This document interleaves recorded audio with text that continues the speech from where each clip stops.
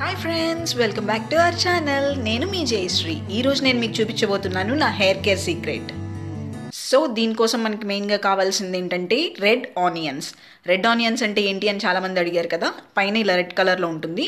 దాన్ని గ్రైండ్ చేసుకున్నామండి. బాగా మెత్తగా ఏం అవసరం లేదు. మామూలుగా చేసుకుంటే సరిపోతుంది. ఇప్పుడు నేను కోకోనట్ ఆయిల్ తీసుకున్నాను. ఒక్క ఆనియన్ తీసుకున్నాను. మనకి కోకోనట్ ఆయిల్ అయితే ఇంత తీసుకున్నాను. దీనికి ఒక ఆనియన్ తీసుకున్నాను. ఇప్పుడు ఆనియన్ ఏంటంటే కోకోనట్ ఆయిల్ కొంచెం వేడెక్కగానే ఆనియన్ మొత్తం అందులో యాడ్ చేసేసుకుంటున్నాను. మనం ఈ ప్రాసెస్ మొత్తం సిమ్లో పెట్టుకునే చేసుకోవాలండి. సిమ్లో పెట్టుకుని చక్కగా ఒక ఫిఫ్టీన్ మినిట్స్ చేసుకోవాలి. ఫిఫ్టీన్ మినిట్స్ మనం తిప్పుకుంటూ ఉండాలి మధ్య మధ్యలో. లేకపోతే మాడిపోతుంది. సో ఆనియన్ ఆయిల్ వల్ల బెనిఫిట్స్ ఏంటంటే హెయిర్ గ్రోత్ అనేది చాలా బాగా పెరుగుతుందండి. అలాగే మనకి హెయిర్ ఫాల్ అనేది కంట్రోల్ అవుతుంది. హెయిర్ థిక్గా అవడానికి కూడా ఆనియన్ ఆయిల్ హెల్ప్ అవుతుంది. ఎందుకు అంటే ఆనియన్లో మనకి కొలజన్ అనేది ఇంప్రూవ్ అవడానికి ఛాన్సెస్ ఉంటాయి.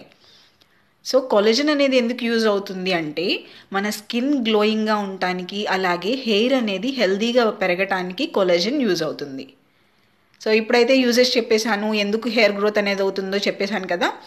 చూశారు కదా ఒక టెన్ మినిట్స్ అయిన తర్వాత ఇలాగా నురగొస్తుందనమాట ఆయిల్ అనేది బాయిల్ అవుతూ ఉంటుంది. ఆయిల్ బాయిల్ అయినప్పుడు మనకి బాగా మిక్స్ చేస్తూ ఉండాలి. ఎందుకంటే ఇప్పుడు ఆనియన్లో ఉన్న ఆ రసం అదంతా ఆయిల్ ఆయిల్లోకి వచ్చేస్తుంది. ఇలా ఒక ఫిఫ్టీన్ మినిట్స్ ఉంచుకున్న తర్వాత మనకి ఆయిల్ రెడీ అయిపోతుందండి. చూసారు కదా మొత్తం ఆనియన్స్ ట్రాన్స్పరెంట్ అయిపోయినాయి. ఇది వెంటనే యూస్ చేసుకోకూడదండి. నేను ఆయిల్ ఒకసారి చూస్తున్నాను ఎలా ఉంది ఏంటి అని. సో మనం కలుపుకుంటూ ఉండాలి. ఒక్క ఫిఫ్టీన్ మినిట్స్ ఉంచుకుంటే సరిపోతుందండి. అంతా సిమ్లో పెట్టుకునే చేసుకోండి. ఇప్పుడైతే మొత్తం అయిపోయింది. ఆల్మోస్ట్ అంతా అయిపోయింది చూసారు కదా. ఆనియన్స్ మొత్తం మనకి ట్రాన్స్ఫర్గా అయిపోవాలన్నమాట. అంటే చక్కగా వేగిపోవాలి. అందులో ఇంకేం ఉండుకోకుండా మొత్తం ఆయిల్లోకి వచ్చేసేయాలి.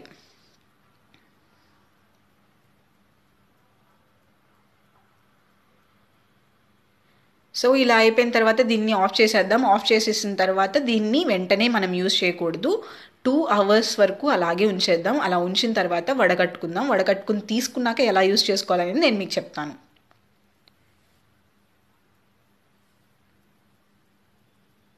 చూసారు కదా? ఇలా అయిపోతుంది. ఆనియన్స్ మొత్తం కలర్ చూసారు కదా? మొత్తం ట్రాన్స్పరెంట్గా అయిపోయినాయి.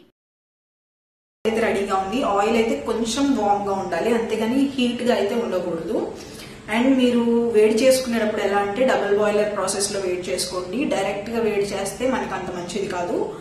సో ఒక కాటన్ బాల్ తీసుకున్నాను నేను. కొంచెం కాటన్ తీసుకోండి. కాటన్ తీసుకుని డిప్ చేసుకుని మొత్తం అప్లై చేసేసుకుందాం. ఇలా అప్లై చేసుకోవడం వల్ల ఏంటంటే కాటన్తో అప్లై చేసుకుంటే మనకి రూట్స్కి బాగా పడుతుంది. మనం మామూలుగా ఇలా పోసేసుకుని ఇలా చేసే కన్నా. సో కాటన్ బాల్తో అప్లై చేసేసుకుందాం. సెక్షన్ వైజ్ అప్లై చేసుకుందాం మనం. నేను ఎప్పుడు చెప్పేది అదే. ఆనియన్ ఆయిల్ అనేది చాలా మంచిది హెయిర్కి ఏంటంటే ఆనియన్ ఆయిల్ వల్ల మనకి బెనిఫిట్స్ ఏంటంటే హెయిర్ రీగ్రోత్ అవుతుంది. సో ఇదైతే ఇప్పుడు ఎలా అప్లై చేసేసుకోవాలనేది చూద్దాం. కోమ్ చేసేసుకున్న తర్వాత ఏంటంటే సెక్షన్ వైజ్ అప్లై చేసుకోవాలి ఆయిల్ తీసుకుని. నేను మీకు చాలా సార్లు చెప్పాను ఆయిల్ అప్లై చేసుకున్నప్పుడు కాటన్తో అప్లై చేసుకుంటే మనకి చాలా మంచిదండి. ఏంటంటే రూట్స్ కంట వెళ్తాయి.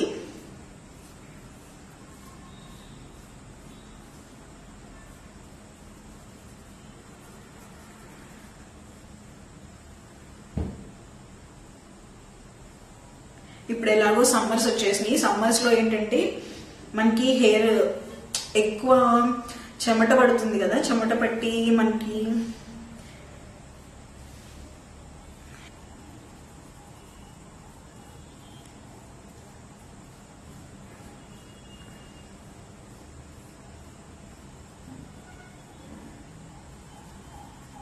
సమ్మర్లో ఏంటంటే మనకి బాగా స్వెట్ వస్తుంది. అలాంటి టైంలో ఏంటంటే మన హెయిర్ అనేది చాలా త్వరగా పాడైపోతుందండి. హెయిర్ డ్యామేజ్ అవుతానికి ఛాన్సెస్ ఎక్కువ ఉంటాయి. అలాగే హెయిర్ ఫాల్ అవ్వడానికి కూడా ఛాన్సెస్ ఎక్కువ ఉంటాయి. మనం ఎప్పుడైనా కానీ ఆయిల్ పెట్టుకుంటే జస్ట్ టూ అవర్స్ ఉంటే చాలండి. దానికన్నా ఎక్కువ ఉండాల్సిన అవసరం లేదు అసలు హెయిర్కి. అండ్ చాలా మంది ఏంటంటే హెయిర్కి ఆయిల్ పెట్టేసుకుని బయటకు వెళ్తారు. ప్రొటెక్షన్ ఏం చేసుకోకుండా. ఏంటంటే గర్ల్స్ అయితే స్కార్ఫ్ కట్టుకోవటము లేకపోతే బాయ్స్ అయితే కనుక హెల్మెట్ పెట్టుకోవటము ఇలా చేసుకోవాలి. ఇక్కడ వరకు మనం కవర్ చేసుకుంటేనే మన హెయిర్ని మనం ప్రొటెక్ట్ చేసుకోగలం. ఏంటంటే మోస్ట్లీ మనం హెల్మెట్ పెట్టుకున్నా కానీ ఈ ఏరియాలో మనకి హెయిర్ ఫాల్ అవటానికి కానీ డస్ట్ అనేది రావటం కానీ లేకపోతే సమ్ పింపుల్స్ లాగా రావటం కానీ హెయిర్ లోపల లేదా ఇక్కడ వరకే డాండ్రఫ్ ఉండటం కానీ అన్ని ప్రాబ్లమ్స్ వచ్చే ఛాన్సెస్ ఉంటాయి. అలా అవ్వకోకుండా ఉండటానికి మనం బయటకు వెళ్ళేటప్పుడు ఎప్పుడు ఆయిల్ పెట్టుకుని వెళ్ళొద్దు. ఓకే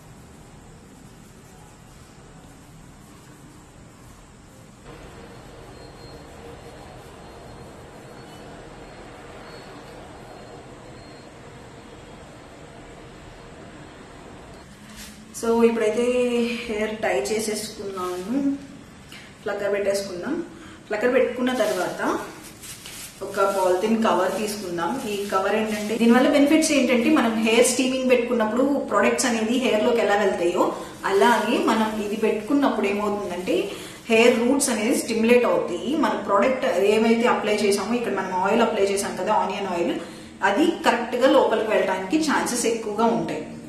దీనివల్ల ఏమవుతుందంటే మన హెయిర్ గ్రోత్ అనేది ఇంక్రీజ్ అవుతుంది. ఫాస్ట్గా హెయిర్ గ్రోత్ అవడానికి ఇది చాలా హెల్ప్ఫుల్ అవుతుంది. సో ఇది ఏం లేదండి. సింపుల్గా మనం ఇలా పెట్టేసుకోవడమే.